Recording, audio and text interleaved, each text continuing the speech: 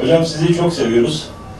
Ee, size çok güzel bir sorum olacak. İnşallah bunun cevabını çok güzel bir şekilde yanıtlayacağından eminim. Türbe ziyaretlerini nasıl buluyorsunuz? Ee, Evliya Allah'ın e, mekanlarında güzel e, Allah-u Teala'nın e, nurunun, rahmetinin, o e, zatların hürmetine oralarda enerjisinin çok güzel olduğu söyleniyor. Bu konu hakkında ne düşünüyorsunuz? Teşekkürler. Ya bir insan Abdülkadir Geylani'yi sever, onu hayal eder, onun gibi olmak ister. Onun türbesine gittiğinde onun e, ruhunun enerjisini hissetmek ister.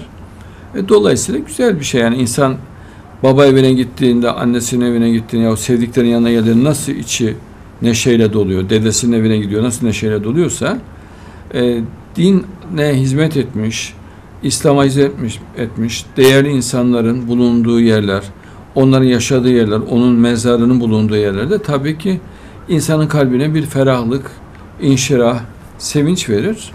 Ee, oradan bir manevi istifade olur tabii ki. Ama ondan doğrudan bir güç beklemek bu şirktir tabii.